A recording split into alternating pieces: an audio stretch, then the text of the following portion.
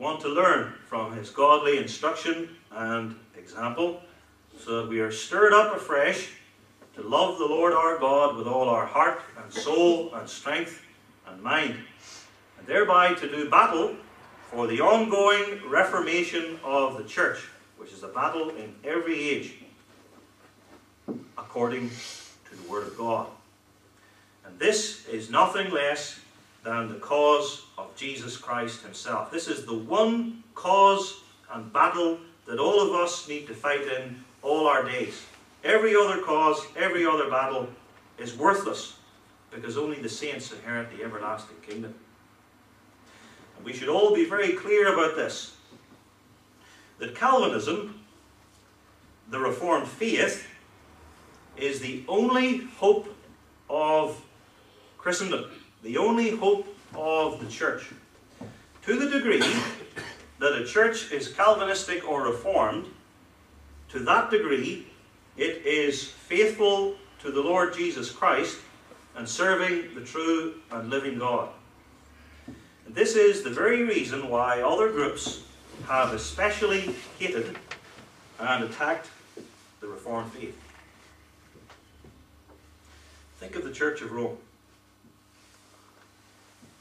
Rome understood, and still understands too, that its greatest threat is not the Lutherans, it's not the Anabaptists, it's not the Arminians.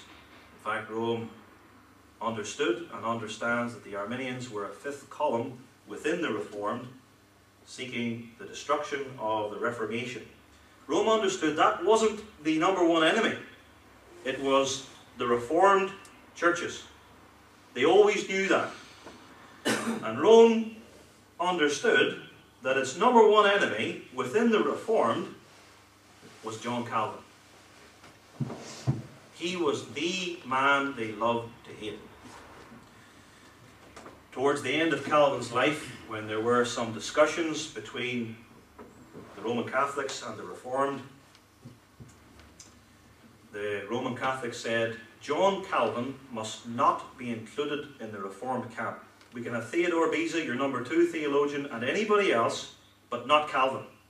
We don't want him to put his feet on French soil. The rest of you can come, we can talk, but he must stay. That was so hard, they hated him.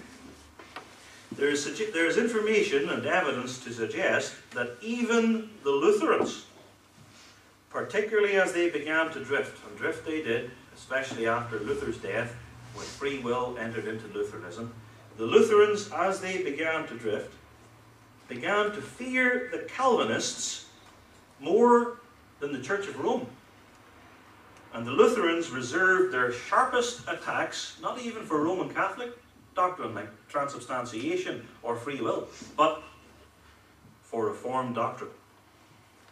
Some of you may have heard of the late John Gerstner, Presbyterian theologian in the United States. Gerstner was right.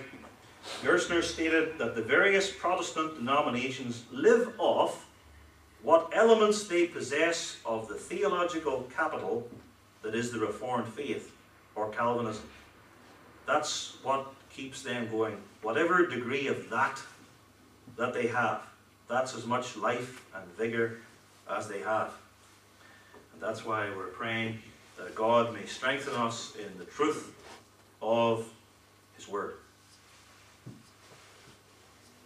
So much for Calvin's influence. Let's turn to the first half of his life, the first 27 years. Second half we'll deal with, Lord willing, and I hope you're able to come back this day next week, Friday next week.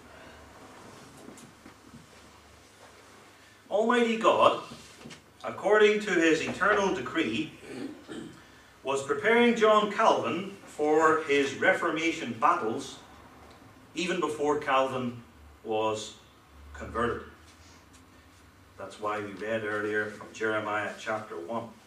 There the Lord told Jeremiah, quote, Before I formed thee in the belly, I knew thee. And before thou camest forth out of the womb, I sanctified thee, and ordained thee a prophet unto the nations. In other words, as Calvin puts it in his commentary, before I formed thee in the womb, I, God, destined thee, Jeremiah, for this work, even that thou mayest undertake the burden of a teacher among the people. Calvin continues his commentary by drawing the following principle. Quote, God chooses every single individual according to his own will and fits them for their work. This fitness is the gratuitous work of God. And this applies to absolutely all of us who are in Jesus Christ, that God decreed our salvation and fitted us for our work and calling in the church. And this applies to Calvin himself. Fitted by God for his extraordinary labours and usefulness as a teacher in Christ's church. Here you need to say that Calvin, of himself, was a filthy, hell-deserving sinner. And nobody knew that better than Calvin. That comes out in his prayers and humility. But it was God's eternal predestination and grace which converted and made Calvin servant of God's glory in Jesus Christ. All that before Calvin was born. On the 10th of July, this day, 500 years ago, he was born in Noyon, in Picardy, in northern France. That's near the Somme, where so many would die four centuries later. Or again, Noyon is about halfway between Paris and the Belgian border, if you could picture that. Calvin's family and religious upbringing were devoutly Roman Catholic. His father, Gerard Calvin, or Cauvin, he wasn't a priest, but he was a cathedral notary and registrar in the ecclesiastical court. With his father's help, by the age of 12, Calvin was employed by the bishop as a clerk, and he received the tonsure as one dedicated to the service of the church. The shaving of this part of the head. Calvin's father was very ambitious for him. He wanted his son to rise to high office in the church, and so off went Calvin to university. He studied at three French universities, Paris, Orleans, and Bourges.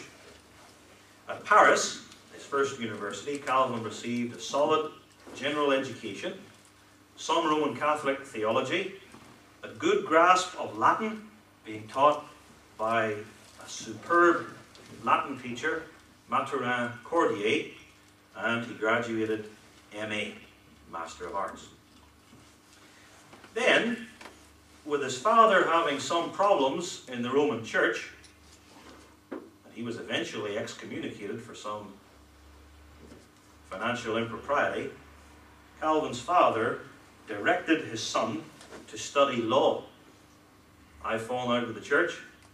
I don't want you to be a minister in that church, therefore, but I do want you to have a high, highly paid and creditable job. Law. There's lots of money in law. There was then, and there is now. So Calvin left Paris and went to Orleans and Bourges to study law. In Bourges, he also learned Greek from a very capable German scholar called Melchior Volmar. And you see even in this how God is preparing Calvin for his life's work even before his conversion. He's not a Christian yet. God is teaching him through these human means theology and law, two subjects well equipped to make a person a rigorous thinker. He's learning Latin. Latin to us is a dead language, but it was the language of scholarship in Western Europe. You wrote a book in Latin in the 1600s. Anyone who, who was learned could read it, and so your ideas could be disseminated far and wide. And Calvin's grasp of Latin is masterly, and his French also was superb, and he perhaps